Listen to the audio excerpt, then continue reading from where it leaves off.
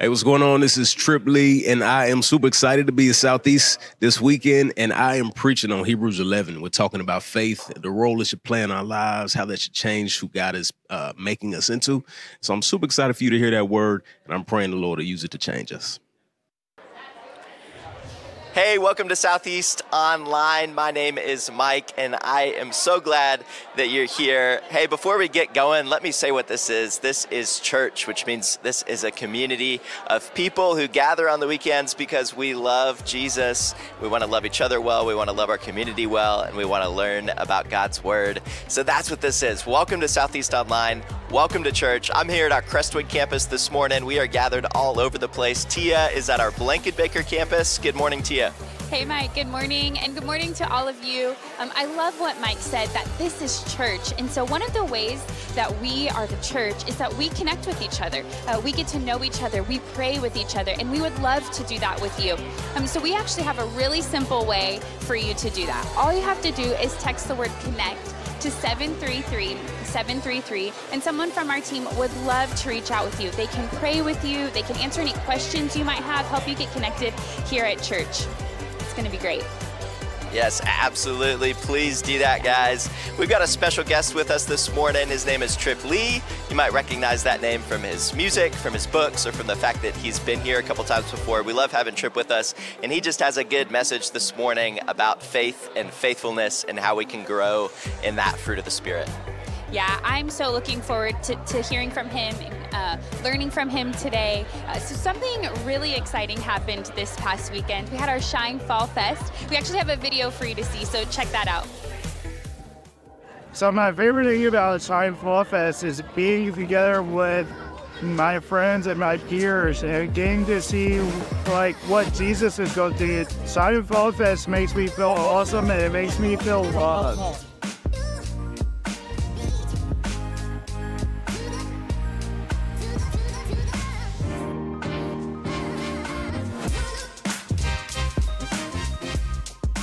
Hey, church family, we're here at Shine Fall Fest. As you can see, there are hundreds of people that we get to love on, and there's so many of you that came out to love on our Shine folks. I can't think of a better way that our church gets to love people one person at a time.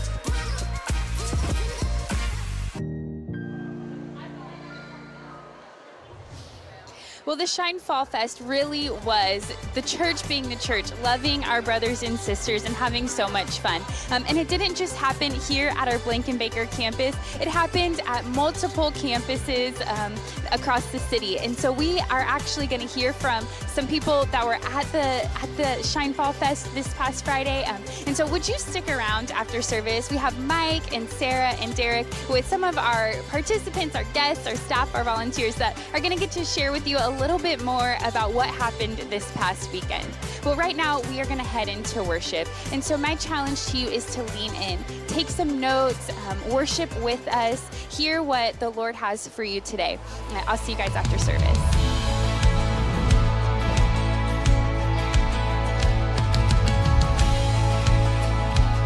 Come on, you sing.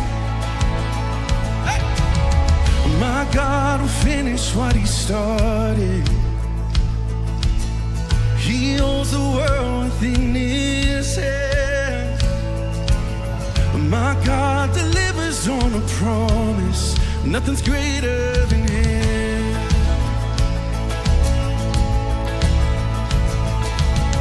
My God will break down every stronghold. Jericho walls will stand a chance. My God can conquer any giant. Nothing's greater than Him. Nothing's greater than Him. We sing, the victory is yours. Though the battle ain't. Come on. Glory is yours With hands lifted up, I'll be singing through the fire that my God, He's not finished yet. Hey! My God is with me every moment. No powers of hell can hold Him down. My God, to death to resurrection, nothing's greater than Him. It's true, nothing's greater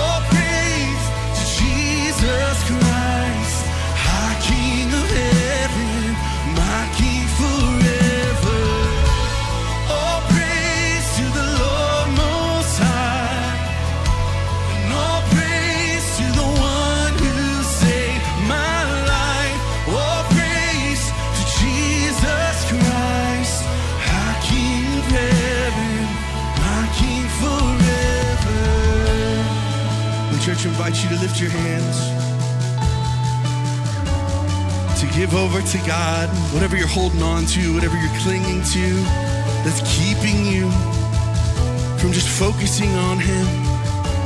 Come on, church, sing and surrender.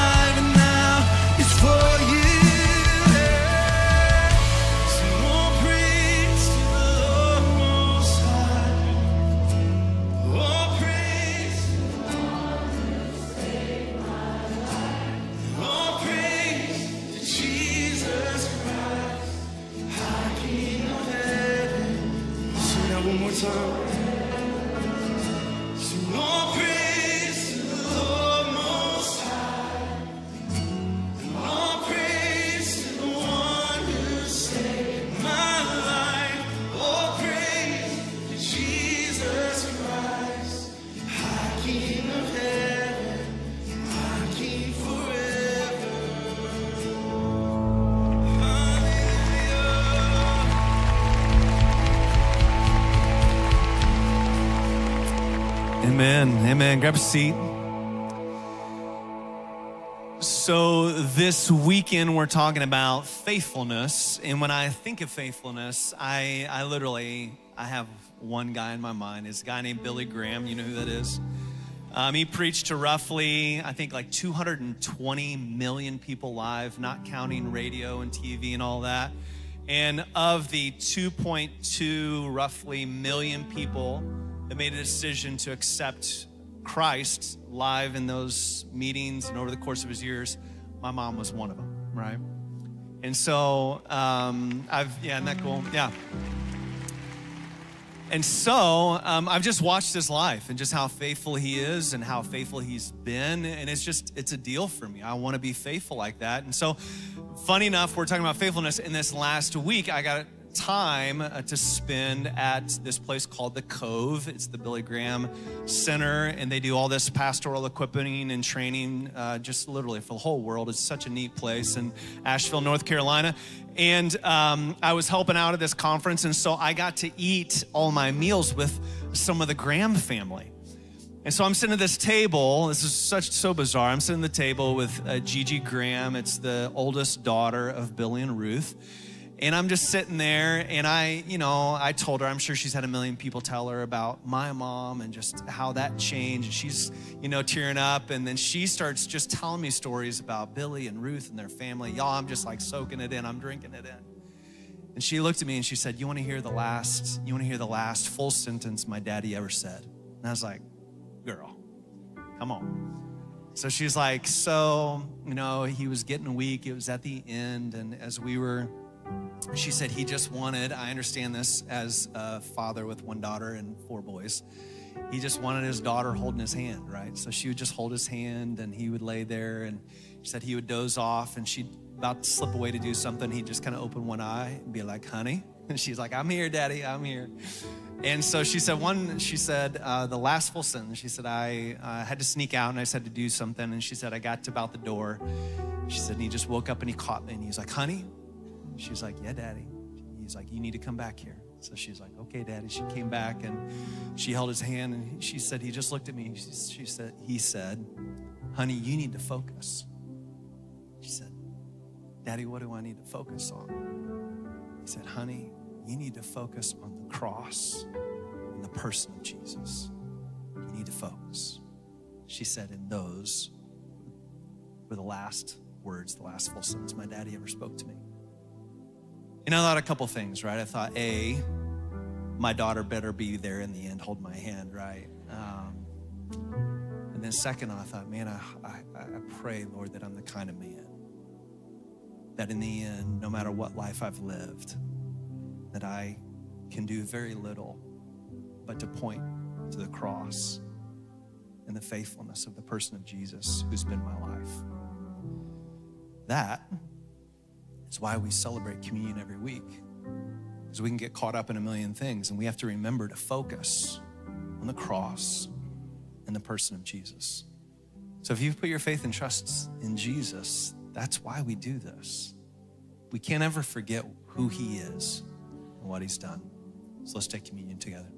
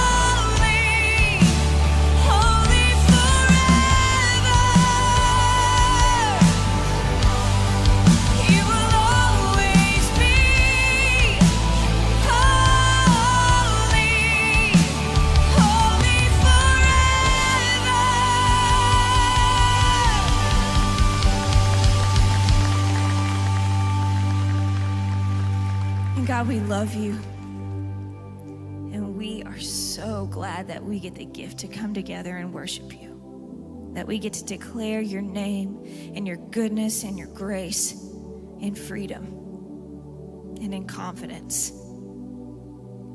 That we get to sing those words that you are holy and you are on the throne today, tomorrow, and every day after.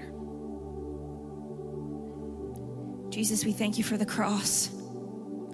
We thank you for the love and the faithfulness that you show us when we lack it. Keep our eyes on you. Give us eyes to see and ears to hear. It's in your name we pray. Amen. Y'all can grab a seat. Hey, church family, this weekend we are continuing in our series on becoming, becoming the person God made us to be. And each week we've been talking about a fruit of the Spirit that gets produced in us when we keep in step with the Spirit. Uh, as we learn about the fruit of faithfulness today, I'm excited for you to hear from Trip Lee. Trip is a pastor, a teacher, he's a well known hip hop artist, and he is uh, one of the most requested guest speakers that we have at Southeast. I have been thankful for the way he's shared with us in the past, glad he's back, and I'm especially glad he's preaching on faithfulness because I've seen this fruit in his life and ministry, even when he has faced some pretty difficult and challenging circumstances. So, um, his life as a follower of Jesus exemplifies what it looks like to faithfully serve. And he's going to talk to you about how we can grow in faithfulness. I'm really glad he's here. Would you please welcome back Trip Lee?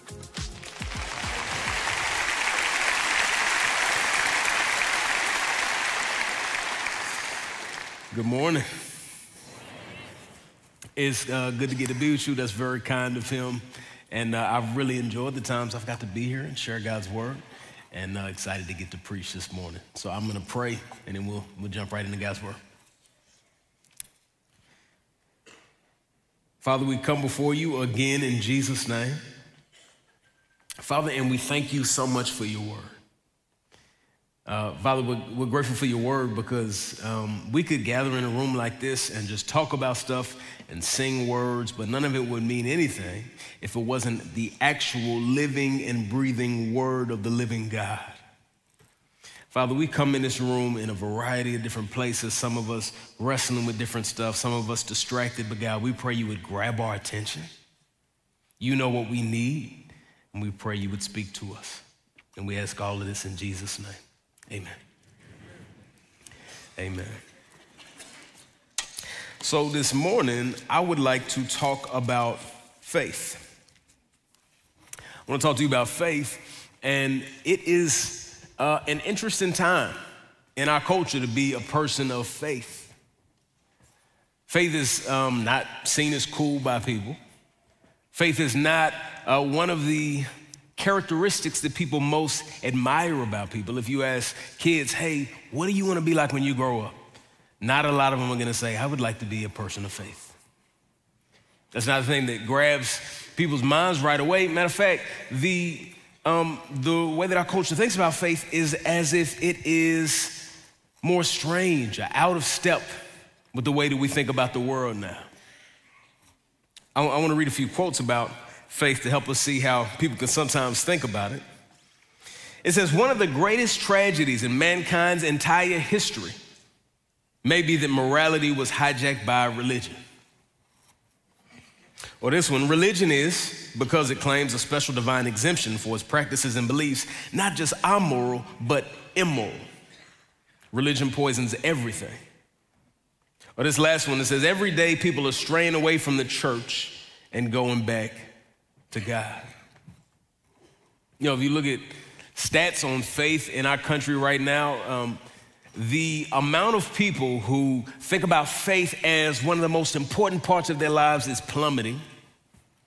People who go to church regularly is plummeting. There's a, a large rise in people who they call the religious nones, people who have no particular faith that's important to them at all. This is an interesting moment in our culture for faith. Not everybody's angry at faith, though. Some, some people um, may think that, you know, they're not angry at people of faith, but they do think that faith is something that is outdated. You know, something that's like, you know, faith is for a time when we didn't really understand the world. We didn't know what was going on around us, but now we do. That's just strange. Or still other people who think of faith as it's a fine thing, but they would put it on a list of other nice things that you could have if you want to be a notable citizen. You show up to work on time and you, um, you don't let your grass get too long. You mow it, your grass is looking nice. And you're a person of faith. But the way that uh, the writer of the Hebrews, and we're going to be looking at Hebrews 11, talks about faith is as if it's a lot more than that. Because the writer of Hebrews is going to tell these Christians that they need to live by faith, not just with faith, not with faith as one of the things on the list, but to live by faith, that every area of their life will be lived out by that faith. And someone may say, but why would he do, why, why would he need to say that? If he's going to say, hey, don't stop uh, uh, gathering together around Jesus because that's what keeps your faith alive, or to encourage each other, that's what keeps your faith alive. Isn't faith just a crutch? Why would it be that important? And here's one of the things I want to drive home is that faith is not a crutch, it's more like a stretcher or a gurney. And here's why I would say that, you know, with crutches, you know, you still got one good leg, so you just need the crutches, got to help you hop along. Whereas without faith, we are completely helpless, hopeless, no way to get to our destination. Faith is more like a stretcher or a gurney in that it carries us to the one who has everything that we need. It connects us to God Himself. So, with that in mind, we're going to look at three things that we learn about faith, why it's so important, why it's more of a stretcher than a crutch in uh, Hebrews chapter 11. And we're going to look at it in three points. The first one is this that faith gives you sight. Faith gives you sight. Y'all with me this morning? All right. Now, we all uh, understand the importance of sight, right? What we see is the way we navigate through the world. It gives us security too, that we know what's going on around us. You know, there's a reason that kids are afraid of the dark because they can't see what's around them. And they imagine that whatever strange creature that they saw in a Disney movie is lurking in those shadows. But when we can see, we can see what's going on. It's not just seeing physical things, I mean, just having a sense of what things are, seeing is important. You know, even um, there's a reason why if you want to buy a house and you're trying to get a loan, you can't just say, hey, um, no, I got, I got the money, I'm good for it. I said, well, no, sir, we need to see your tax returns. You can't be like, no, no, no, I'm, I'm a man of my word, I'm good. No, no, no. They need to see with their eyes. They need to see pay stubs. They need to see. They need to make sure that money is there. There's a reason why, if a case is being argued in court, they need to see evidence of the crime that's been committed. Because when we see things, it lends more credibility. Now, you may say, Trip, what does this have to do with faith? Listen to Hebrews chapter 11, verse 1. This is what God's word said. It says, Now faith is the reality of what is hoped for, the proof of what is not seen, for by this our ancestors were approved. By faith, we understand that the universe was created by the word of God so that what is seen was made from things that are not visible. Now, that sounds like a worldview that we're not really familiar with, and in some ways sounds at odds with sight, that faith does. So you may say, Trip, I think you got your point wrong, saying that faith gives us sight, but, I, but I'll tell you what I mean. When he says faith is a reality of what's hoped for, the proof of what's not seen, that is a definition uh, of faith Though it's not a comprehensive one, doesn't tell us everything we need to know about faith, but it gives us a good guide. It's kind of like if I said, um, you know, uh, Jessica is my wife. That would tell you something about her, just not everything. There are other great things about her, like that she has great taste in husbands. You know, there's other important things about who she is, but it does give you a window into who she is. This definition of faith is a really guide, uh, good guide for how to understand it because I think a lot of the ways that we think about faith in our culture are false. We, we often think of faith as kind of a hoping or a wishing. You know, something that just kind of makes you feel better about a circumstance. Like you may say, I haven't been going to work, but I have faith that I'm gonna be able to pay my bills. I just feel it in my gut. That's not faith at all. What scripture is gonna talk about here with faith um, is much more than hope or wishing, or even something that we just receive as tradition from our family. Um, the other way that, that, that, our culture, you know, when they think about people of faith, they would think that's a strange way to see the world or to come to conclusions. And it's understandable because most of our culture's beliefs rest on this assumption that, you know, everything that we know is true, we know because we can see it or we can do an experiment on it, experiencing it with your senses. But the writer of Hebrews is trying to tell us that not only is faith in God respectable, but it is a more sure way to move through the world. The writer of Hebrews is saying not only is faith respectable, but it's a more sober view of reality. And I just want you to know I don't mean just any faith, because faith on its own is not a virtue. Have you ever thought about that? Faith is only as good as the object of the faith. So, for instance, I grew up in Dallas, I'm a Cowboys fan. Every season,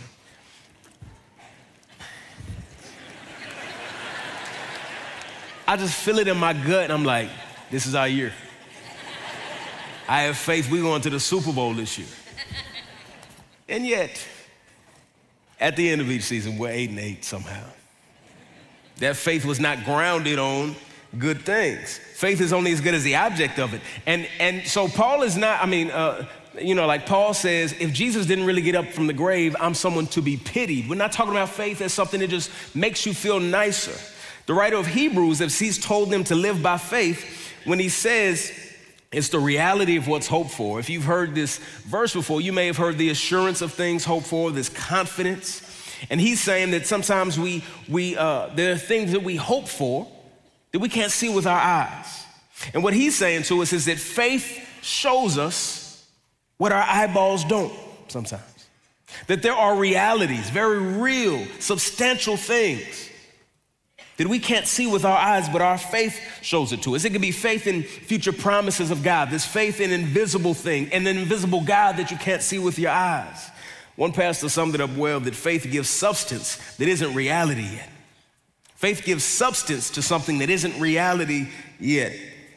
People of faith and uh, are those who build their life on promises that haven't been fulfilled yet. That I know God is with me even when I can't see Him. That I know I've been given a new heart even though I didn't have any surgery. That I know that I'm filled with the Spirit even though you can't measure it with some kind of medical device. That I know that God is the creator of all these things around us.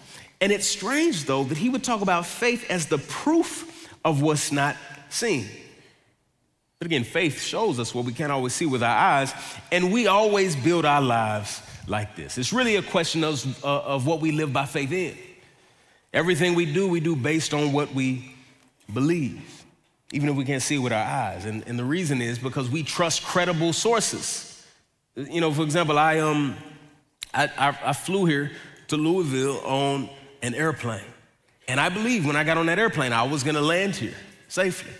Let me tell you, it's not because I checked out the plane for myself. I did not get under that. I wouldn't even know what I was looking for. I'd be like, yep, there's some metal. Yep. but it's because I trust those pilots, I, I trust those engineers to do that job well. I trust them. And when we have good reason to trust credible testimony, then we, we build our life on that, even if we haven't seen it for ourselves. And this passage is a testimony to the credibility of God. One, that he goes through this list of all these heroes of the faith and how God was faithful to them in difficult seasons. I mean, uh, you, you should read Hebrews 11, the whole chapter, if you get a chance. But he brings up Abel and he brings up Enoch and he brings up Noah and he brings up Abraham and Jacob and Isaac and he brings up Gideon and on and on and on. And there is this faithful God who has been faithful to them over and over and over and over again testimony from credible witnesses. But not only that, another way he gives us this credibility right away in verse 3, he says, By faith we understand that the universe was created by the word of God, so that what is seen was made from things that are not visible. Right away, he undercuts any worldview that dismisses things that can't be seen. Because he says the things we can see were created by unseen right? Um, so that seeing is not always the best indication of what's real. And part of the way we know that is that our eyes can deceive us sometimes, right? Even, you know, if, if you're at your house and you, you think you see someone lurking in the shadows, but it was nothing at all. Or you're talking to someone and you see them make a face, and then you go through the whole day thinking that they hate you, and it's like, I finally did it. I pushed them away. And then at the end of the day, they're like, nah, my stomach just hurt when we was talking, and then the conversation was over. Our eyes can deceive us. And we trust ourselves too much sometimes as the absolute final judge of everything that's true based on what we can perceive and see with our eyes and is. And so there's sometimes when we could think maybe the word of God isn't worth building our entire life on because it's invisible. And the writer of Hebrews is saying, just because you cannot see it does not mean it's real and it doesn't mean that it's not powerful. I dare you to show you something visible that is stronger than the invisible word of God. That God spoke and created everything. That God holds the universe together by the word of his power. All the visible things that seem so strong came from the power of the words of an invisible God. So I don't want you to allow anybody to make you feel foolish for building your life on the word of God. I don't want you to let anybody make you feel foolish about depending on this word of God. And I don't want that to, to impact your own confidence that, can, that it can uphold you just because you cannot see it with your eyes. It's the Word of God. And the thing is, the alternative is not that we don't live by faith. The question is, will we put our faith on things that can actually hold up what we put on? Some of us are building our lives instead and living our lives by faith in the security of our jobs. Building our faith uh, instead on the security of our closest relationships on our skills and gifts. And what I want to say to you is um, your financial statements are not sturdy enough to hold the weight of a human being made in the image of God. And when we build our lives by living by faith of the promises that those things give us, it would be like putting a, uh, a little Lego chair that my son made with Lego blocks and then sitting on it, it would not hold my weight. And it would be on me for assuming that something so flimsy could hold the weight of a human being. I want you to know we cannot live by faith in things that cannot hold up the weight of a human being made in the image of God. But God, on the other hand, is faithful and He's good and He's strong. And you were created to build your life on faith in His promises. But it is hard though because there is so much that we do see with our eyes. Even when it comes to believing in God's future promises, sometimes we think, but I don't know how to do that because everything I see looks hopeless. How am I to believe that God is actually at work? And sometimes we think, man, if I just could have been in Bible times and I could have seen Jesus with my eyes, I want to remind you there were people who looked Jesus in his eyes and told him he's not who he said he was. There were people who were present and they saw Jesus and the disciples show up with five loaves of bread, and then they saw thousands of people get fed, and still didn't believe that Jesus is who he said he was. I need you to understand that the key to you building your life probably is not just you seeing everything with your own eyes. There's still a heart that has to see that Jesus is who he said he is. Romans 10 says that faith comes through hearing and hearing through the word of Christ. And so, one of my encouragements is to build your life in a way where you are um, exposing yourself constantly to what God has to say, to God's word. That's what awakens and, and strengthens that faith in our hearts. Reading God's word for ourselves, being with other people who encourage us with God's word. The number of times that I've been talking to someone and said something dumb, and my friend was like, Well, actually, God's word says this. I mean, the, the number of bad decisions and bad perspectives the Lord has saved me from that way. Before I go to the next point, I just want to give three, three disclaimers about this faith. First one is I don't think this text is calling for a completely blind faith, a faith that just says, oh, cool, that sounds true, that has no questions, that has no curiosity.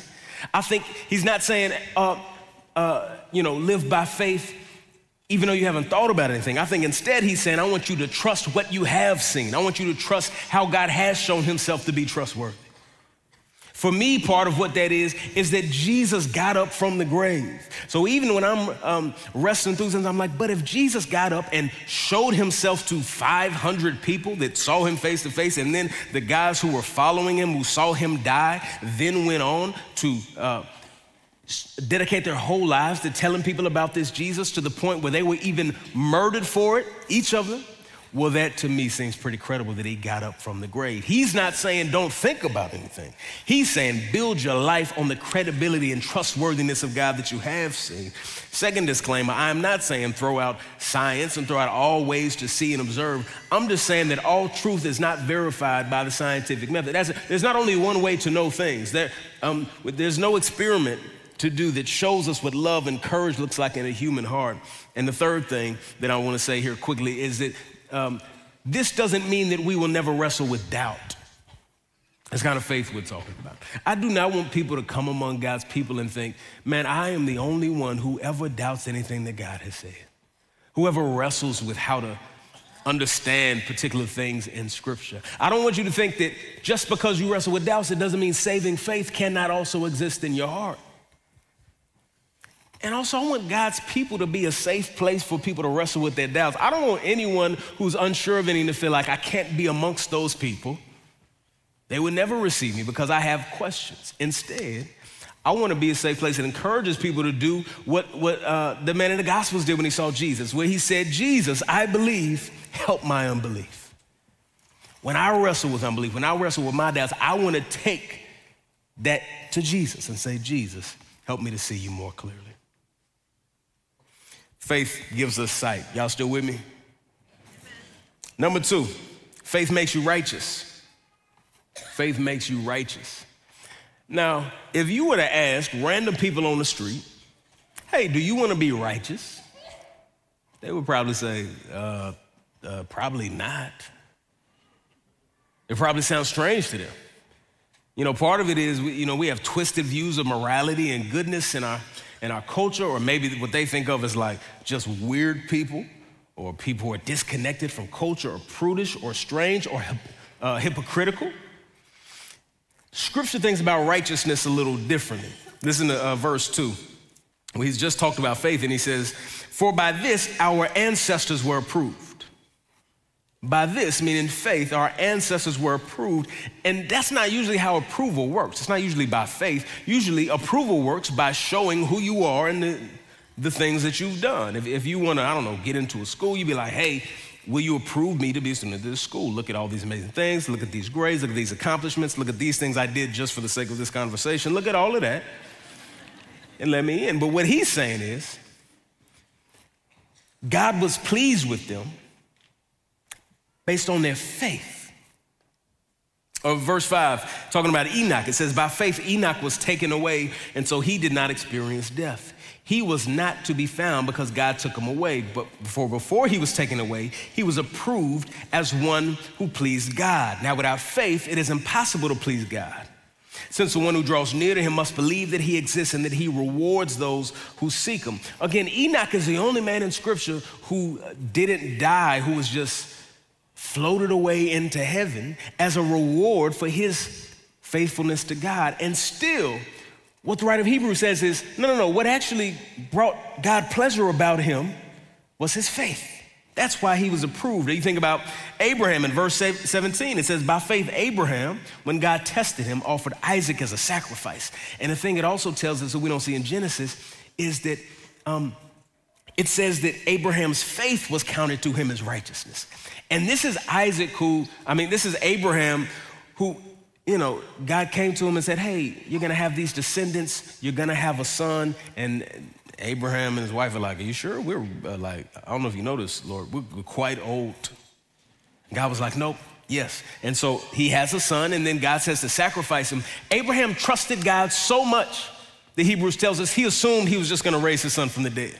He was like, Surely God is not going back on his promises to give me descendants, so it must be that he's gonna raise him from the dead. It's that faith that was counted to him as righteousness. And the reason I'm making these points with how he's talking about it is we always assume that the way to be approved before God as righteous is to do a bunch of good works to show him how good we are.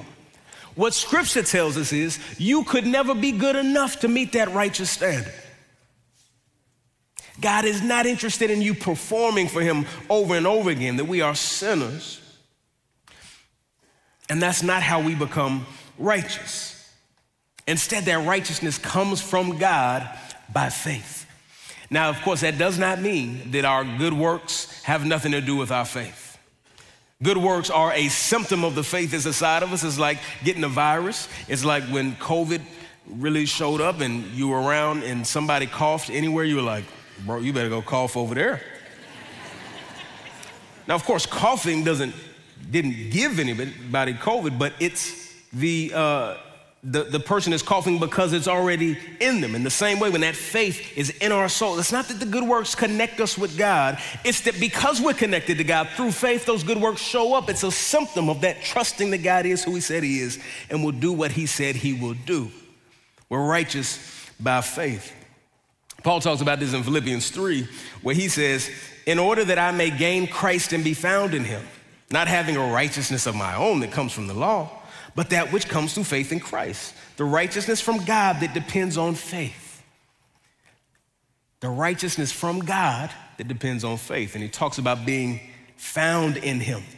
Paul is always talking about being found in God, in Christ. He's saying if we want all the spiritual blessings that are found in Christ, he's saying if you want to know where you need to be to be blessed, it's not in this building, it's not in your house, it's in Jesus. That's where the forgiveness is, is in Jesus. That's where the deliverance is, is in Jesus. That's where the salvation is, is in Jesus. That's where the real joy is, is in Jesus. That's where the righteousness is, is in Jesus.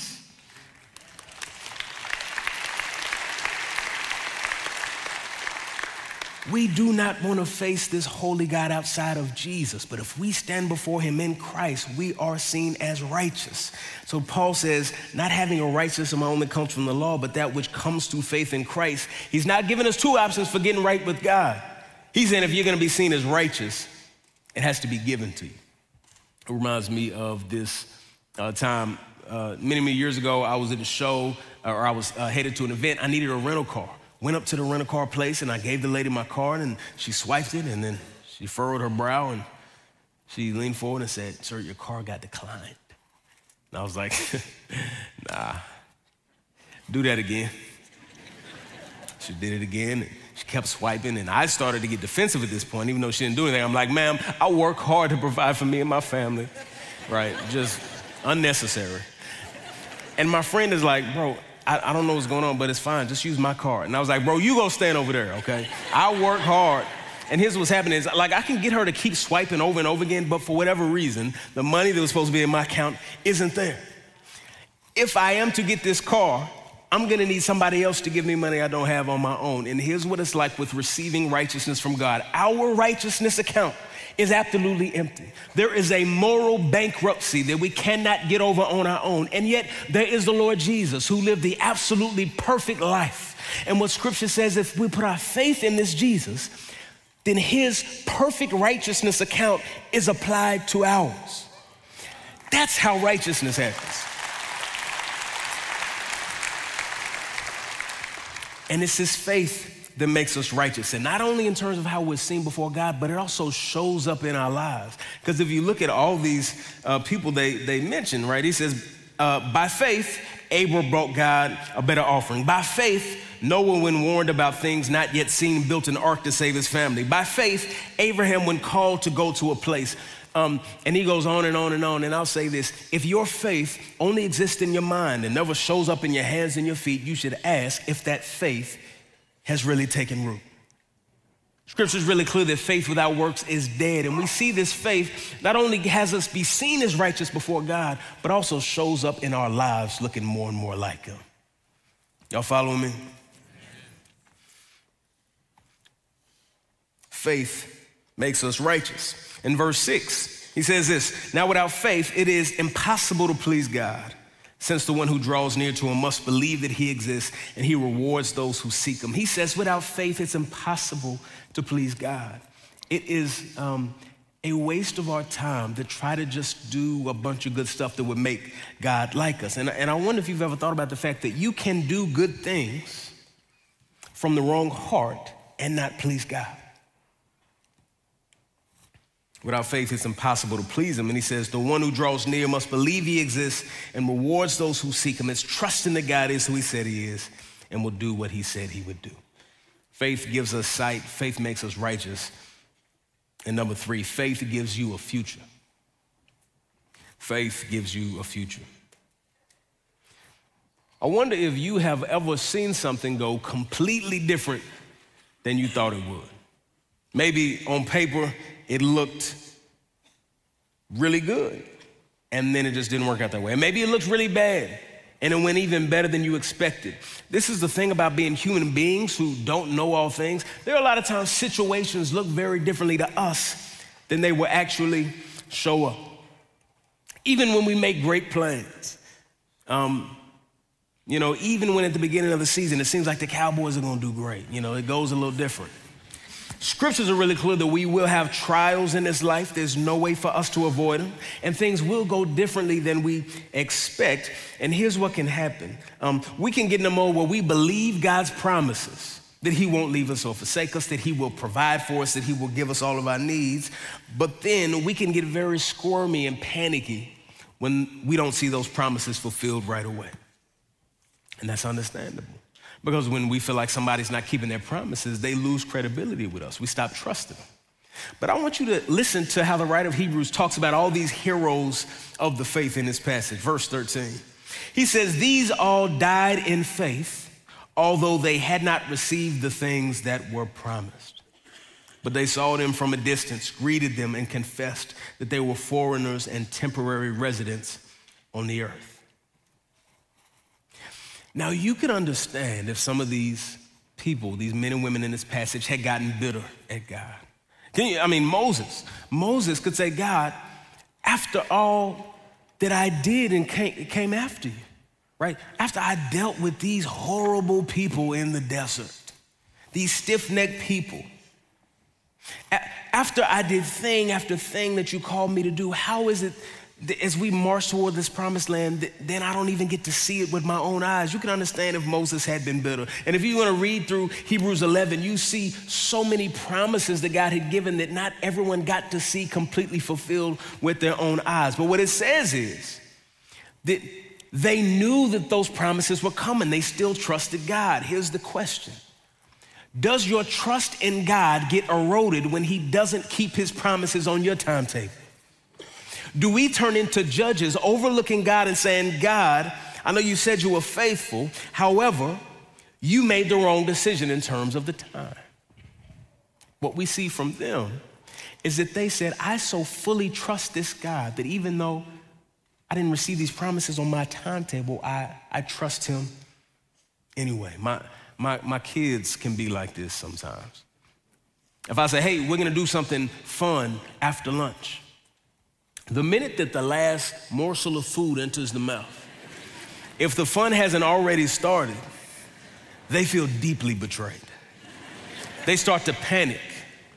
And they're like, well, where's the fun? And they look me in my eyes and they say, Father, you have betrayed me.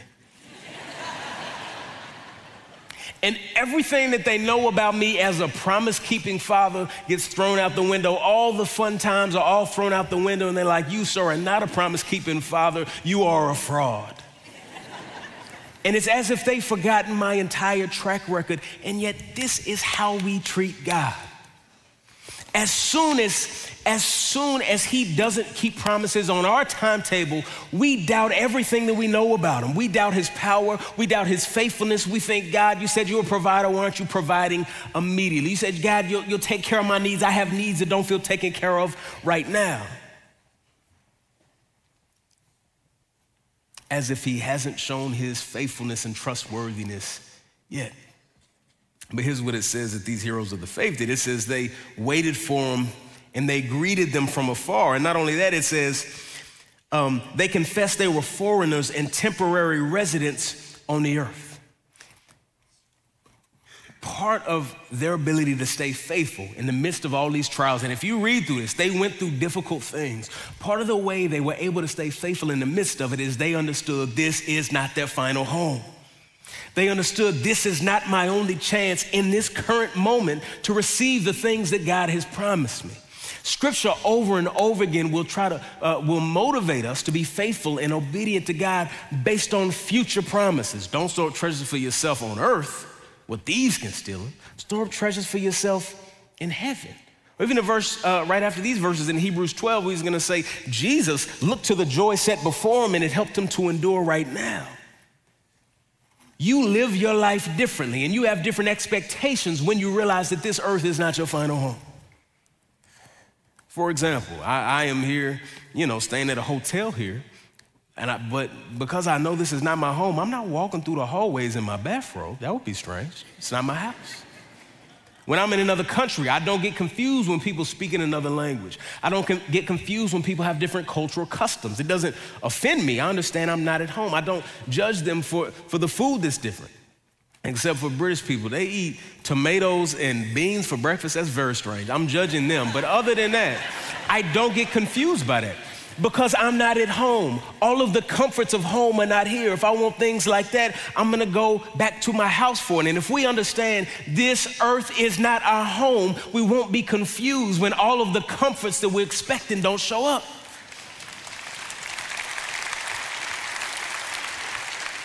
So much of the suffering from difficult seasons comes from us forgetting that this is not our final home. And that no matter how difficult this is now, Jesus wins in the end and he takes us with him. Like the scripture will say, hey, the stuff you're dealing with now, momentary trials that cannot even compare to the eternal weight of glory that's waiting on you. Longing for that weight of glory will help you to be a more faithful follower of Jesus right now. It will help you to love your neighbor better because you understand I don't have to be greedy. This isn't my final home. It'll help you risk your comfort because you understand I don't have to fight for my comfort tooth and nail. This is not my final home. I don't have to step over people rudely for a promotion. This is not my final home. Longing for that final home helps you to be more faithful in this temporary. Faith gives us that hopeful future. And, and we see that example here with them. The, the good news of, of this faith is this that all these things we can't do for ourselves, see, see all of reality because we can't really trust our senses more than anything, be righteous enough on our own because, because we're sinners, to have this perfect future because we're not in control of all things, all of those things are things that God freely offers us. This is why I'm saying faith is not a crutch, faith is more of a stretcher where we're carried to the one who has everything that we need. And God is so gracious that He calls us to Himself and says, Look, you don't have to do all the work yourself. I already did it. Just trust me. And I promise if you trust Him, He will show Himself over and over again to be exactly the gracious, faithful God that He says He is. Amen. Amen. Let me pray.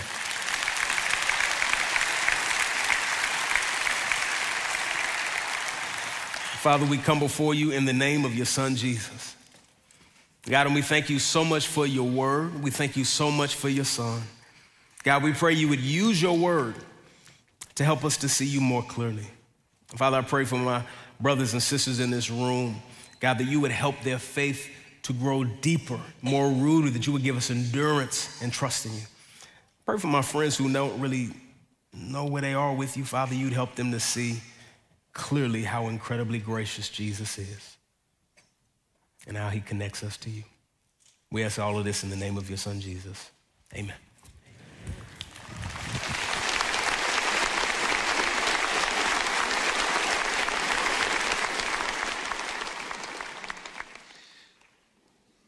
Anybody need that message?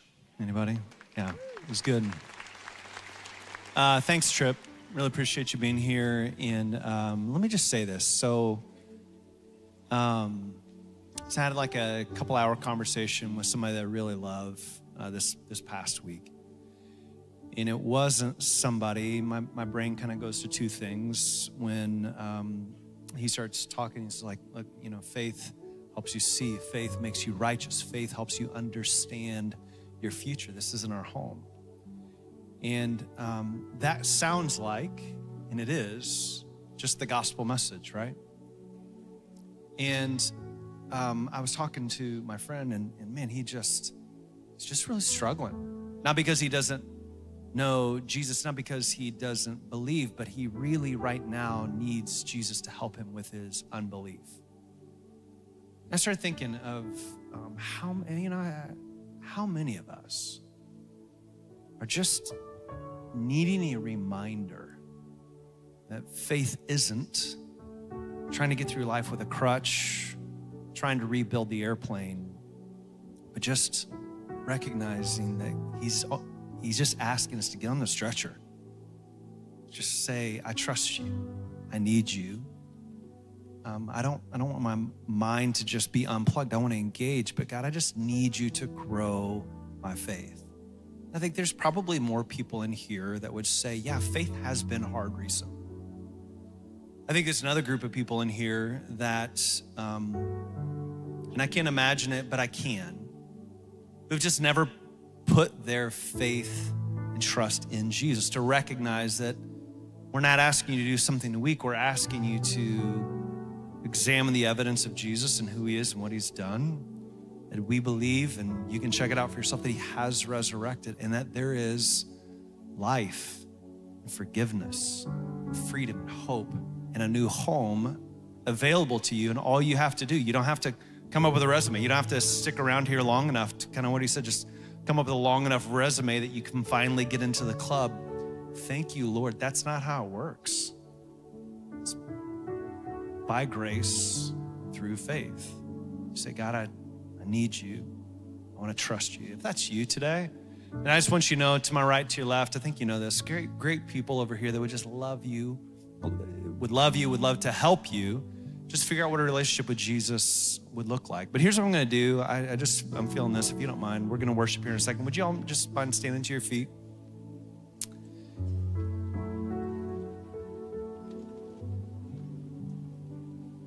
And we're about to step into worship, and, and maybe you're going to pray with me for other people, but I'm just going to invite you. Um, if you just could really use faith today, you could just really, just, just not only just that word, but just for God to really just grow your faith today. You're in a season, you're in a situation, you're like, man, I need, I need new eyes, Lord. I need to stand before you just righteous. I need to start operating like this isn't my home, but that's not where I'm at. If that's you right now, I just want to pray. And if you want to receive, you just want to receive, this isn't from me, it's from him. But I'm just gonna pray. If you just want to put your hands out, I'm just gonna I'm just gonna invite you to welcome, ask for him to meet you. Like that guy said, Hey, I believe. That was a prayer to Jesus. Help me with my unbelief. So if that's you and you just need faith today, and I just invite you to put out your hands. I just want to pray over you. We're going to pray over you. Father, thank you that you are who you say you are.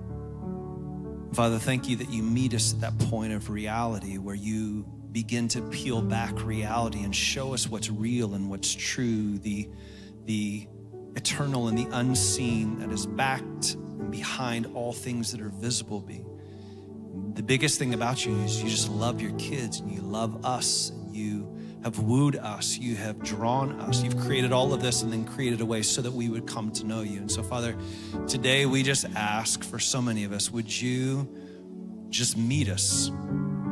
Father, we believe, but help us, help us in our unbelief. Father, we want to, like Romans 10, be able to say that no one who has ever put their faith in Jesus will ever be put to shame. It just won't happen, can't happen. So, Father, we just want to receive that. We want to receive and step into faith in new and greater capacities all the time. We pray that in the powerful name of Jesus. Amen. Let's worship.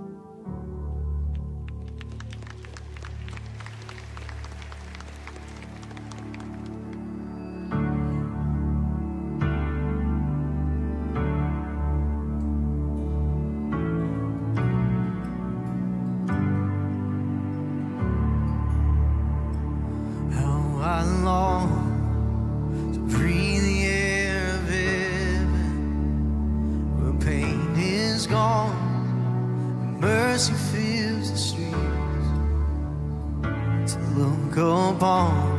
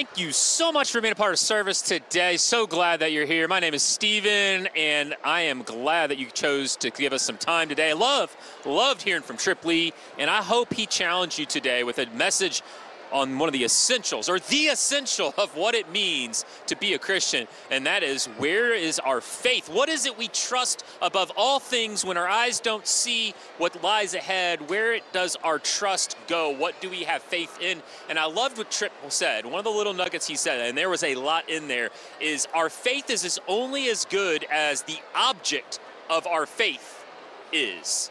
And who else would our testimony trust? Who else should we trust than the person that was in a grave and walked out of the grave in Jesus? We'd love to talk to you more about that. If you've got questions about Southeast or what that means to have faith, you can always text the word connect to 733733, and we are going to follow up with you about what it means to express faith. Now, at the top of service today, we got to celebrate one of our favorite things as a church. It is Shine Weekend with our Disabilities Ministry. It was Fall Fest, and we were at four locations. We were at our Blankenbaker campus. That's where I'm at right now. But we were also at Crestwood. We were also at Indiana and at Southwest campus. So we've got some guys and gals joining us from those campuses to take us behind this amazing Shine Fall Fest. Mike, you're out at our Crestwood campus with one of our staff members, Amy. Tell us all about the Crestwood Shine Fall Fest.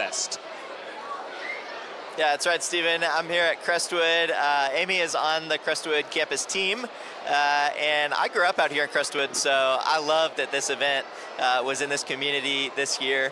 Amy, can you tell us a little bit about just what you experienced at Shine Fall Fest, and what does it mean for this to happen in Crestwood? Yes.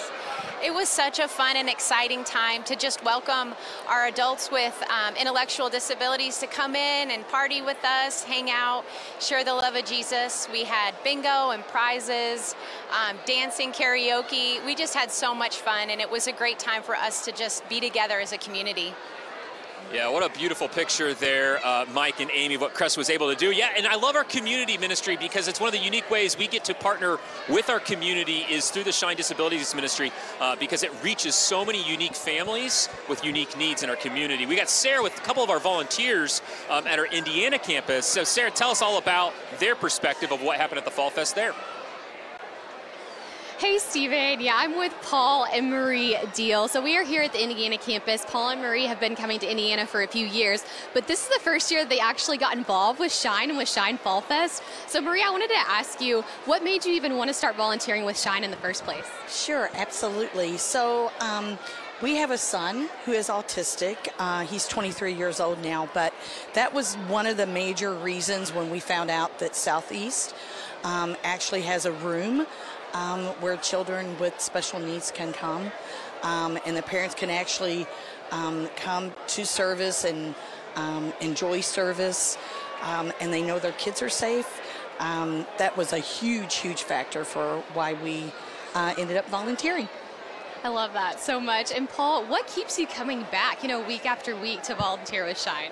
Uh, it's really it's just the smile on those kids' faces every day when we get in there and we see them, and also the fact that I know that we're allowing the parents time to just sit and uh, enjoy the sermon and and worship and sit soak in God's word. Yeah, Stephen, that's such a great point. Yep. Like, I love that our church has Shine available for not only, you know, Yep. our kids with special needs, but also just for parents just to enjoy worship and have, you know, their kids taken care of and not have to worry so much about that. Oh, absolutely. And the theme this year was the 1950s uh, sock hop theme, and so they had tons of fun with it. Uh, special thanks to our volunteers there. And then uh, we've got Derek at Southwest with one of our special friends, Hayden. He's a part of the Shine Ministry, and he's also a part of SE Online, gets to participate uh, with us, and we love Hayden. So, Derek, uh, love to tell us a little bit about Hayden's experience at Southwest with our Shine Fall Fest. Yeah, guys, this is Hayden Redman at our Southwest Campus Part of the Shine Ministry. One of my good friends. We've been in a group together online. It's been great getting to know him. But Hayden, it looked like you guys had an awesome time on Friday night here at Southwest. What were some of your favorite things that you got to do? Well, Derek, I, I will say we did have a great time, you know, and some of the favorite things I got to do was sing karaoke and call it bingo with Jump Val and the dance. That's awesome. Well, just looking at your Facebook pictures from Friday night, it looks like you guys had a blast. But Steven, as Hayden's making his SE Online debut this weekend, there was one thing he's been dying to say all weekend. And so Hayden, take it away, buddy. Steven, back to you. Oh, Well done. Thank you to all our participants there. Hayden, love you. And I can only imagine how good those dance moves were on Friday night. So that's good. Good to see you all. Uh, love getting to celebrate Shine Fall Fest. One of the unique parts of what makes Southeast special is our Shine friends. So, so thankful for that. Hey, online guys, I want to let you know a couple quick things before we sign off from here. want to remind you, we're only 12 days away from homecoming happening on this campus where I am standing. If you've ever been looking for the weekend to come to Louisville, Kentucky and see Southeast and meet your online family, homecoming's the weekend for you. We got events happening on Friday night, Saturday, and Sunday. We'll be worshiping right here at the Blankenbaker campus. Text homecoming to 733 733. We cannot wait to see you. Also, we got a study coming out next month. It's on the book of Ruth. We're calling it the extraordinary ordinary. It's what happens when we have faith, like Trip talked about today. When we have faith like that in our ordinary lives, God can do some extraordinary things. To see all the ways to engage, you can text the word Ruth to 733 733. And we are doing a large group together. You can sign up there by texting the word Ruth because it's going to be led by me and Derek and Brandon and Sarah. And we'd love to see a couple hundred of you join us for four weeks as we go through the book of Ruth called The Extraordinary Ordinary. Y'all, that's all I've got for me today. Thank you so much for being a part of Southeast Online. If you learned something today, don't sit on it. If you see a call to action that God has placed in your life, can I encourage you to take that step of faith? Don't delay, sign up, take action, and do the thing that God has called you to do. Y'all, we'll see you back next week. Thank you so much. Bye, everyone.